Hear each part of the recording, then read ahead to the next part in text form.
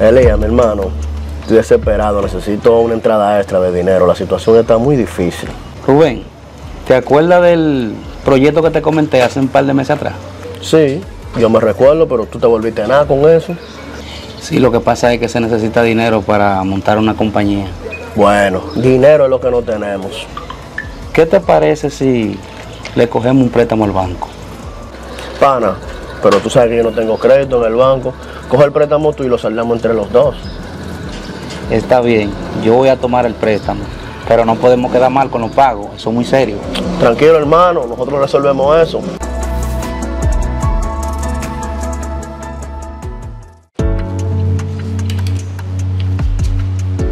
Elías, te presento a Raquel, nuestra nueva secretaria. Mucho gusto, señorita. Bienvenida a la empresa. Muchas gracias, jefe.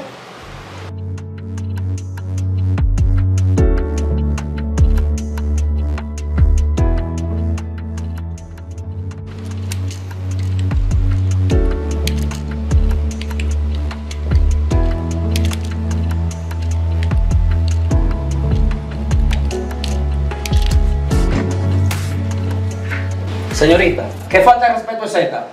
Respétame, yo soy un hombre casado. Perdóneme, jefe, no sé qué me pasó. Mire, salga inmediatamente de mi oficina.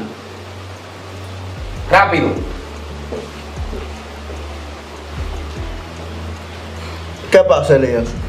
Tu secretaria me faltó el respeto. ¿Pero qué fue lo que hizo? Entró aquí a mi oficina y empezó a coquetearme. Habla con ellos, si no, despídela. Tranquilo, yo resuelvo eso.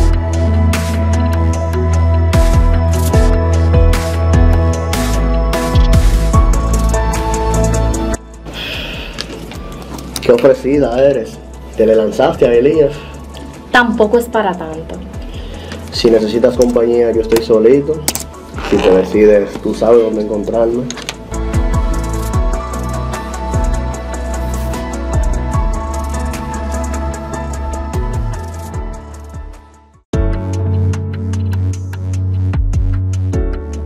Rubén, he recibido varias quejas de nuestro mayor inversionista y de algunos clientes. ¿Qué tipo de quejas? Del maltrato que tú le das. Bueno, si no le gusta el trato que se le da aquí, que se vaya a otro lugar. Te recuerdo, Rubén, que tú no eres el único dueño de esta compañía. Para tomar una decisión como esta, debemos estar ambos de acuerdo.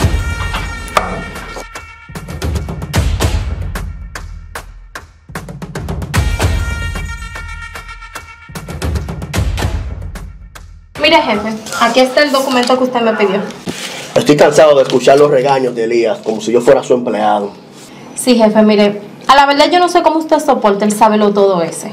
Usted debería ser el único dueño de esta empresa. Tranquila, que pronto lo seré.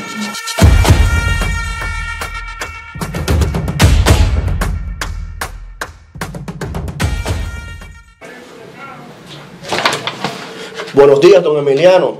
Venga, tome asiento. ¿Qué le trae por aquí? No me sentaré, lo mío será breve. Usted dirá. Vine porque he llamado varias veces y no he podido comunicarme ni contigo ni con Elías. Y la secretaria siempre me dice que ustedes no están disponibles. Don Emiliano, usted sabe cómo es esta empresa. Siempre estamos ocupados. Que no se te olvide que yo soy socio de esta compañía y que tengo que estar al tanto de lo que pase aquí.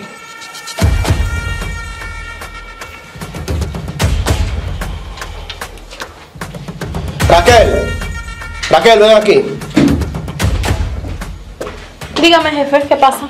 Necesito que regates un documento. Y mañana, cuando yo esté en la reunión con los socios, se lo das a firmar a Elías sin que él tenga chance de leerlo. Perfecto, eso haré. Bueno, el documento trata de que él...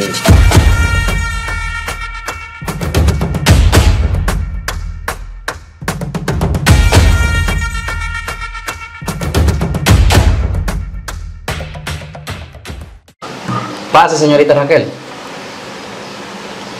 Disculpen, caballeros. Señor Elías, necesito que me firme este documento para el despacho de una venta. No tiene que leerlo, porque es urgente y nos están esperando.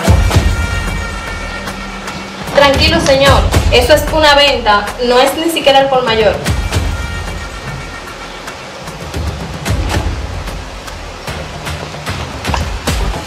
Gracias. Hace meses que no recibo los estados financieros de la compañía Le pedí reunirnos aquí para informarle que contraté una firma de auditores para que hagan un arqueo y me entreguen resultados. Rubén, ¿cómo es que no le han estado llegando los estados financieros al señor Emilio? Eh, el contador de la empresa ha tenido ciertos percances y se le ha hecho difícil entregarlos. Pero debiste comunicarlo a tiempo. Tienen que ponerse de acuerdo y ambos estar conscientes de lo que pasa en esta compañía. O si no me veo en la obligación de retirar mi capital. Eso no será necesario, don Emiliano, no se precipite.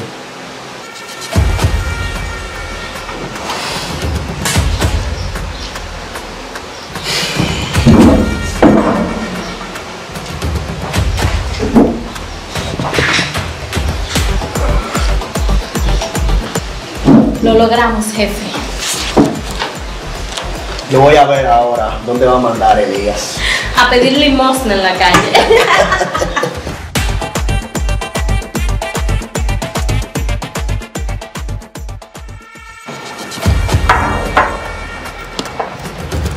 Rubén, ¿qué clase de tontería fue la que me acaban de decir en el banco? ¿Qué fue lo que tú hiciste? No sé de qué hablas. No te hagas loco, Rubén. A mí me dijeron en el banco que de esta compañía mandaron a cancelar toda mi cuenta. Bueno, ya que te dijeron eso, es hora de que te enteres que ya no perteneces a esta compañía. Pero qué disparate lo que tú estás diciendo. Lo que escuchaste. Tú mismo acabas de firmar este documento, donde me das el poder absoluto de esta compañía. Pero qué bajo caíste, Rubén. ¿Cómo pudiste ha- hacerme esa mala jugada? Yo que te trataba como un hermano y te llevé a la posición que hoy en día tú tienes. Ya no quiero seguir escuchándote. Quiero que te vayas de mi oficina antes que llame la seguridad. Está bien. Jugaste de mala fe conmigo, Rubén. Pero espero en Dios que te vaya muy bien en la vida. Muchas gracias.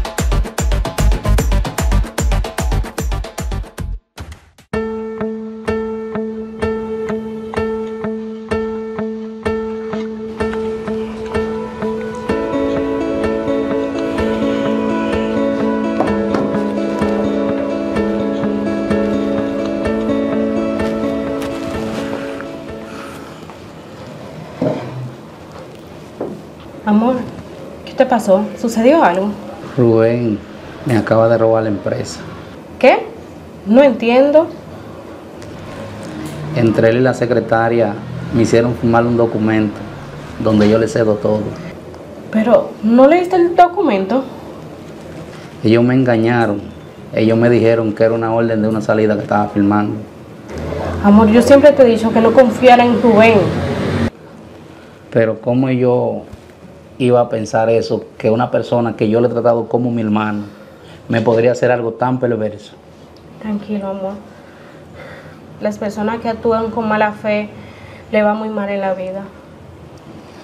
Ahora yo no sé qué voy a hacer. Bueno, yo tengo un dinero ahorrado.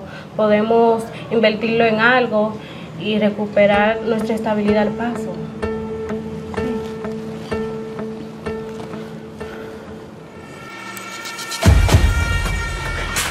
Don Emiliano.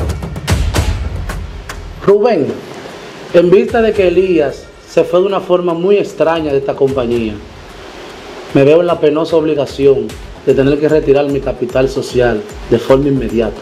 Don Emiliano, pero usted no puede hacer eso. Y más ahora viendo por la situación económica que atraviesa la compañía. Precisamente por eso voy a retirar mi capital, ya que no tengo ninguna garantía.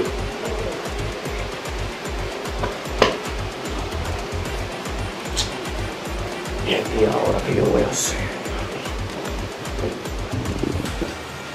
Jefe, mire, le acaba de llegar esto. ¿Y esto qué es? Una notificación del banco de embargo. ¿Y ahora, Raquel? ¿Qué vamos a hacer? ¿Qué vamos a hacer? ¿Qué va a hacer usted? Porque yo no me voy a quedar aquí con un hombre pobre. Yo me voy.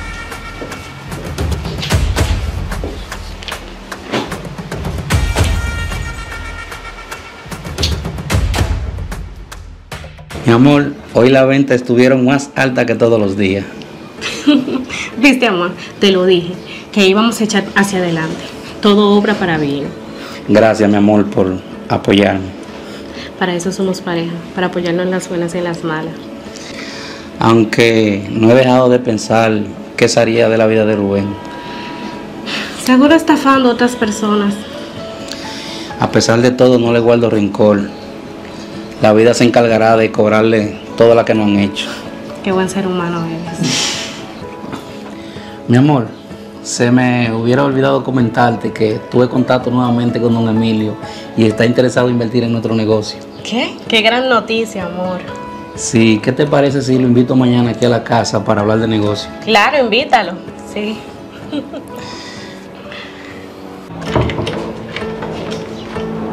Buenas tardes, don Emiliano. Saludos. Pase adelante. Gracias por la invitación.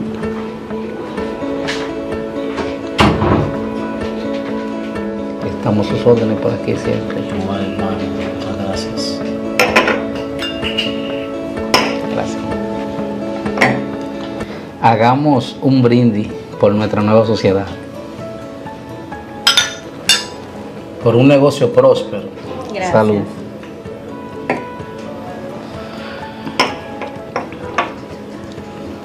Elías, ¿y qué fue lo que sucedió contigo y Rubén?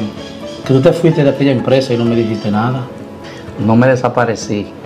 Rubén y su secretaria Raquel planificaron todo para sacarme de allí. Pero ¿cómo lo lograron? Si tú eras el socio fundador. Se valieron de altimaña, me hicieron firmar un documento donde yo renunciaba a todo como dueño. Wow, una verdadera estafa. Lo último que supe de Rubén fue que el banco le embargó la compañía y todos sus bienes. No se esperaba más por su mal proceder. Nunca confié en él. Lamento que haya invertido en esa compañía y que haya perdido todo su dinero. No te lamentes. Lo hice porque confiaba en ti. Desde que me enteré que tú no estabas en la compañía, decidí retirar todo mi capital. Fue ahí cuando Rubén terminó en la quiebra.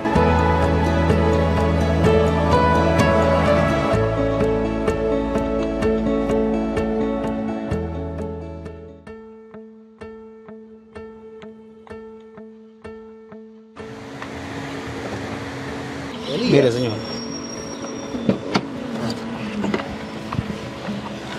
Rubén, pero ¿y qué te pasó? ¿Y por qué andan en esas condiciones? Desde el día que te saqué de la compañía, no supe cómo manejarla. Todo se fue abajo y terminé viviendo aquí en la calle. Wow, siempre te traté como un hermano. Nunca esperé eso de ti. Sí, estoy arrepentido. No hay ni un solo día que no pueda pensar en el daño que te hice. Gracias a eso, la vida me ha sonreído, me ha ido muy bien. Al contrario, te lo agradezco. Y yo que pensé que sería tú que terminaría pidiendo en la calle. Rubén, tu ego era demasiado grande. Te embriagaste de poder y mira cómo terminaste. Sí, lo sé. Por eso estoy pagando hoy en día la mala fe que tuve contigo. Toma para que te compre comida. No entiendo por qué después de todo aún me sigues ayudando. Es que no somos iguales y me duele verte en esas condiciones.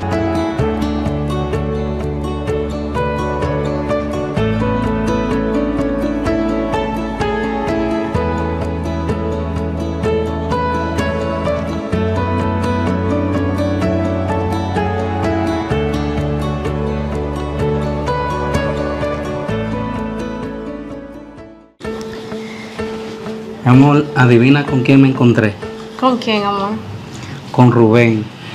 Lo vi en condiciones críticas, tirado en la calle, ya está pidiendo, está. Qué triste es su caso, pero él se lo buscó. Verlo así me partió el alma. Lo entiendo. A pesar de todo, era tu mejor amigo desde niño. Me gustaría ayudarlo, mi amor. Pero, para que te engañe de nuevo. No, esta vez yo pondré mis condiciones y no tendrá acceso al área financiera. Bueno, amor, tú sabes que yo siempre te apoyo en todo lo que decidas.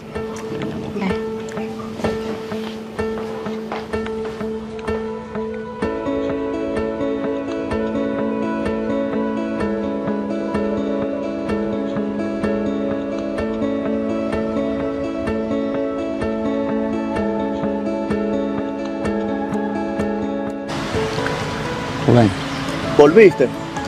sí, lo estuve pensando muy bien y te voy a dar una nueva oportunidad. Tú siempre has sido una buena persona, no como yo. Todos los seres humanos cometemos errores. Lo único que no debemos es repetirlo. Lo sé y espero que un día me puedas perdonar. Yo hace mucho tiempo te perdoné. Yo no guardo rencor en mi corazón. Y por eso vine a ofrecerte una nueva oportunidad, que venga a trabajar conmigo en mi negocio, pero con una condición. ¿Cuál es esa condición? Tiene que empezar desde cero para que aprenda a valorar el sacrificio y el esfuerzo que hace un humano para construir un negocio. ¿Y qué es lo que me ofreces? Te ofrezco un puesto de conserje.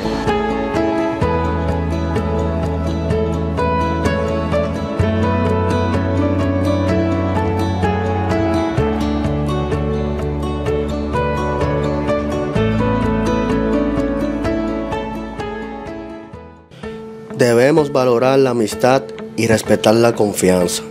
Tener cuidado a quien se pisa al subir, porque te lo podrías encontrar al bajar. Porque te lo podrías encontrar al bajar. Porque te lo podrías encontrar.